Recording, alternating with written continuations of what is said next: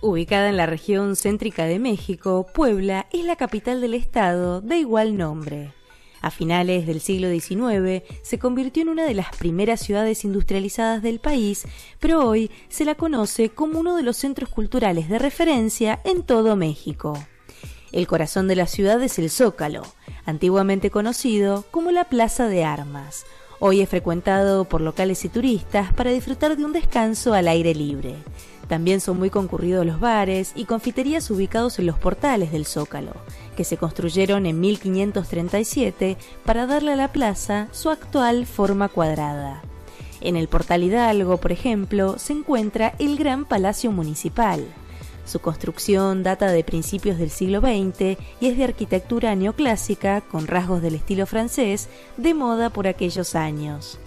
Otro edificio emblemático del Zócalo es la Catedral de Nuestra Señora de la Inmaculada Concepción de Puebla, que se empezó a construir en 1575 por orden del rey Felipe II de España.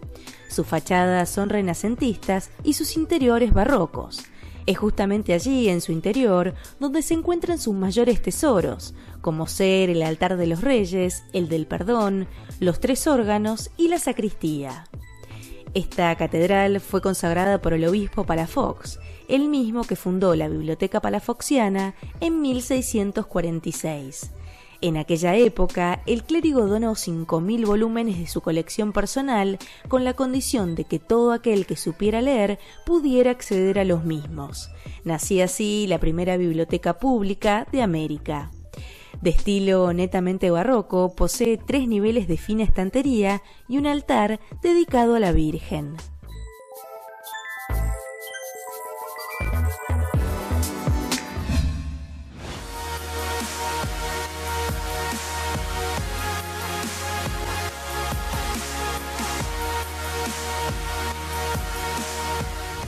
Comenzamos un nuevo bloque de Cara Travel, estamos en México, estamos ahora en San Andrés de Cholula, en las afueras de Puebla, llegamos hasta lo que es la gran pirámide de Cholula, que parte de esto que está aquí atrás es lo que te vamos a mostrar ahora en un ratito, es una cosa impresionante. Y ahora yo estoy en lo que es el museo que conserva algunos de los hallazgos arqueológicos de aquella época. Vamos a seguir hablando de historia, te quiero mostrar el BMW 327 de los años 30, un coche espectacular, en este caso restaurado como si fuera nuevo.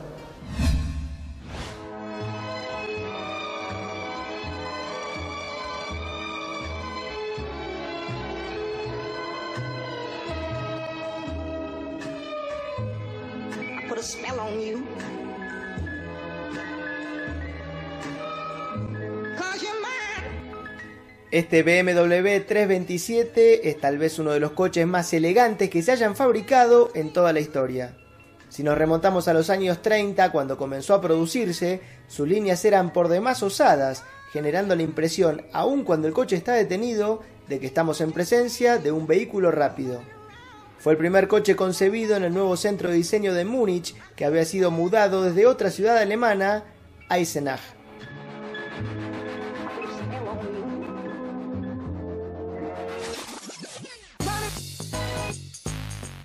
Este coche pertenece a la colección de BMW y es especial porque generó una revolución en el diseño, pasando de las carrocerías en forma de cajas a estas líneas muy fluidas. Fue además el primer modelo de BMW que se fabricó en forma completa sin necesidad de proveedores, tanto para el motor o la carrocería. Se fabricaba completamente a mano con piezas únicas para el coche, con lo que nunca se trató de un producto masivo.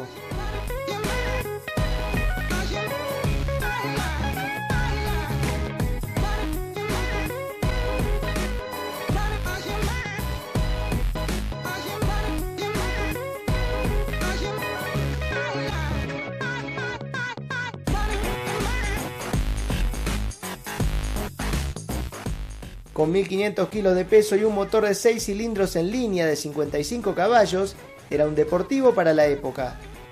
Llegó a tener luego 80 caballos y si bien su producción se detuvo durante la Segunda Guerra Mundial, llegó a fabricarse luego hasta los años 50.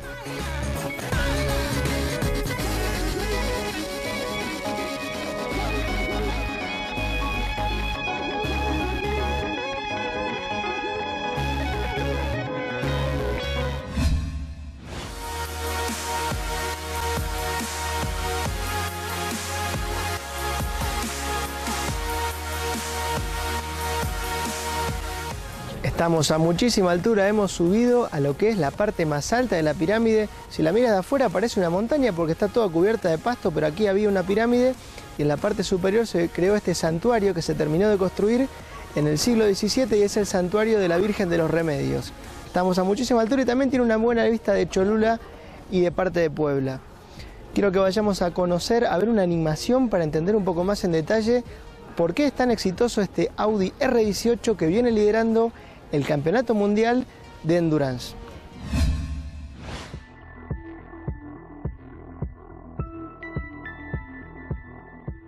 Desde hace unos 15 años, Audi utiliza la cita de las 24 horas de Le Mans para probar sus avances tecnológicos.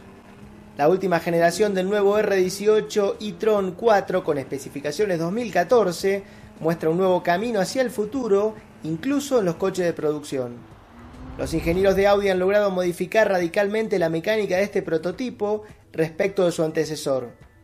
Así es como cuenta ahora con un motor turbodiesel V6 de 4 litros, un motor eléctrico y dos sistemas de recuperación de energía, mediante los cuales almacena esta energía en una batería en el volante inercial del motor a través de una nueva versión del sistema cinético en los ejes delanteros.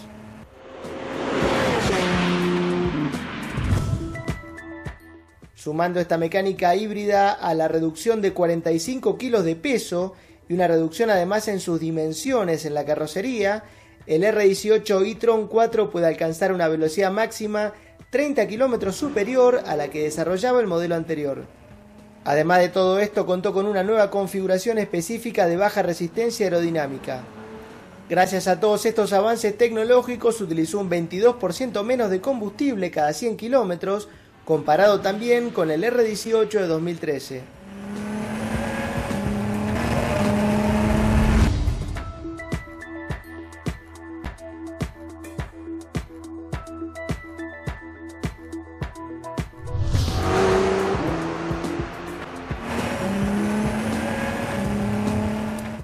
Recordemos que Audi participó en las 24 horas de Le Mans en la clase de energía de hasta 2 megajulios de recuperación energética. El nuevo reglamento limitó la energía disponible por vuelta, pero dejó otros muchos parámetros al libre criterio.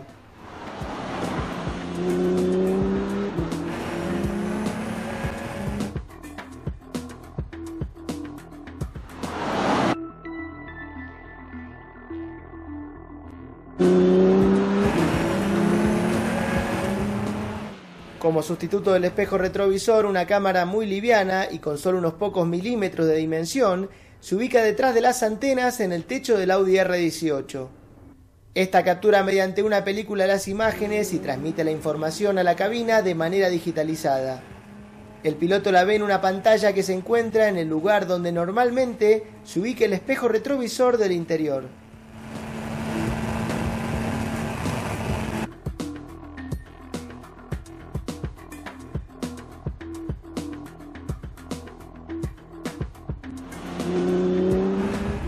La gran variedad de avances técnicos del nuevo prototipo para Le Mans también se manifestaron en el plano de la iluminación.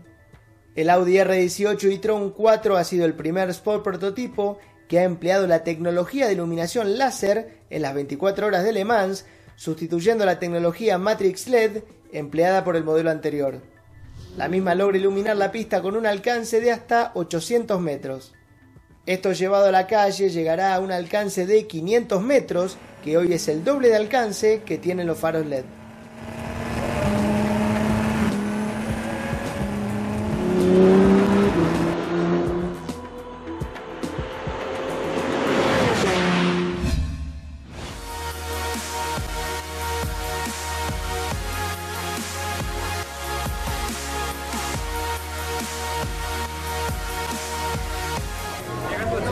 Estamos caminando por la calle 5 de Mayo, una peatonal aquí en pleno centro de Puebla que recuerda la batalla del 5 de Mayo y por aquí pasan diariamente 500.000 personas. Es una locura, muy colorida, una calle muy linda.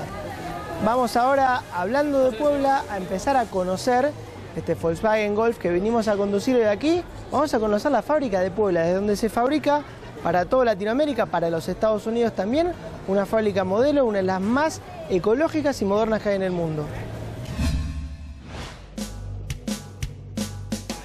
La planta de Volkswagen Puebla abarca 300 hectáreas y es la segunda fábrica más importante de la empresa alemana, tan solo detrás de la planta matriz ubicada en Wolfsburg.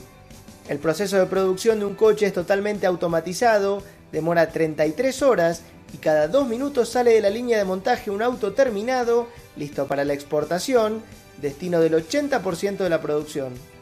Desde el comienzo de este año, esta es la casa del nuevo Golf que llegará desde aquí a todos los mercados de Latinoamérica.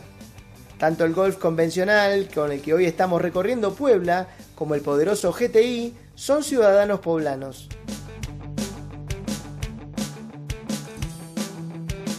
Contando con una planta de tratamiento de agua que utiliza agua de lluvia y diversos sistemas de ahorro de energía, la planta de Puebla es además una de las fábricas de autos más ecológicas que hay en el mundo.